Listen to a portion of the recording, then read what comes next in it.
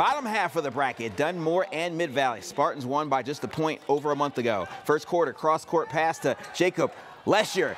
He scored the first four points of the game. That's how you start things off, but the Bucks had an answer. Oh, look at the fancy moves from Caldeludo. Spins and scores to get Dunmore on the board. Later in the quarter, off the bounce play. This is pretty. Ricky Vaneski hits the fadeaway, two of his 12 points. Dunmore up by two now. Thomas Bowen inside extends the lead to four. He finished with 10 points, but the moment of the night right here, in traffic, not an issue for Danny Nemitz hits the shot, becomes the all-time leading scorer in school history, passing Ronnie Tomasetti.